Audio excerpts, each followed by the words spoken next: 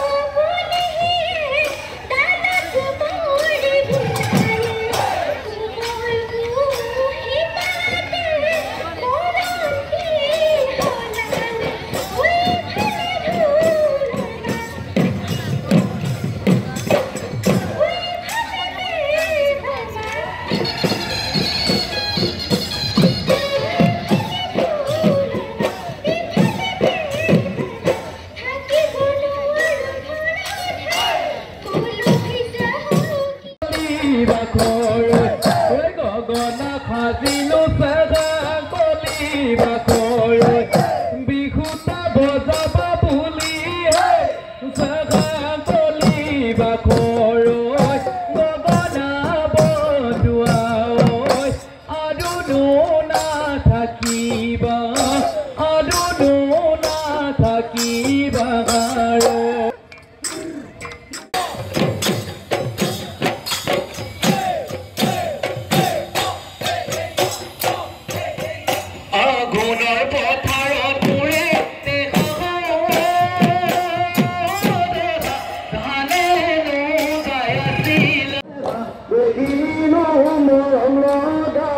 Repeat.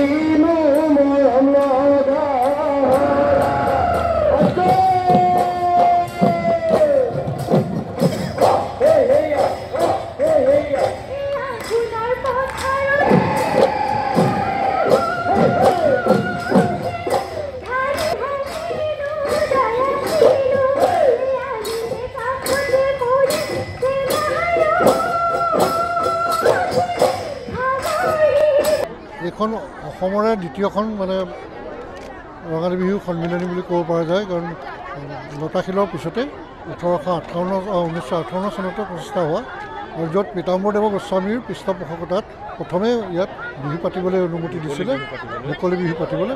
আৰু যিখন মঞ্চতে আচলতে সুধাকান্ত ভূপেন হাজৰিকা সুধাকান্ত উপাধি আনন্দ চন্দ্ৰ বৰুৱাই ঘোষণা কৰিছিলে অসম বকুল বনৰ কবি অসম সাহিত্য সভাৰ সভাপতি। আৰু তাৰ পিছৰ পৰা এই অনুষ্ঠানতে অসমৰ স্বনামধন্য সকলো শিল্পী ইয়াত সমাবেত হৈছে। মঘাই ওজা গজেন ওজাৰ পৰা ধৰি খগেন মহন্ত সকলোবিলাকক আমি ইয়ালৈ যিমান সময় পাৰোঁ আমি আনিছোঁ। তেখেতসকলে ইয়াত সুন্দৰ বিহু প্ৰদৰ্শন কৰিছে সাংস্কৃতিক অনুষ্ঠান প্ৰদৰ্শন কৰিছে। এইবাৰ জুবিন গাৰ্গ আহিব। আমি ভাবিছোঁ যে মাজুলীৰ এই ক্ষেত্ৰখনৰ পৰাই সমগ্ৰ বিশ্বলৈ এটা বাৰ্তা যাওক মাজুলী অকল সত্ৰীয়া সংস্কৃতিৰে নহয় ই এটা অসমৰ লোক সংস্কৃতিৰো ইয়াত এটা প্ৰাণকেন্দ্ৰ। ইয়াত য'ত জাতীয় জনগোষ্ঠী সকলো আছে মিচিংসকলৰ সুন্দৰ বিহু প্ৰদৰ্শন কৰে। ইয়াৰ মিচিং বিহুৱে এসময়ত দিল্লীলৈ গৈ প্ৰথম ইয়াত মাজুলীৰ পৰা গৈ প্ৰতিনিধিত্ব কৰিছিলে এই গড়মূৰ অঞ্চলৰ পৰাই গৈ চিতাদাৰ চুকৰ বিহু সন্মিলনী।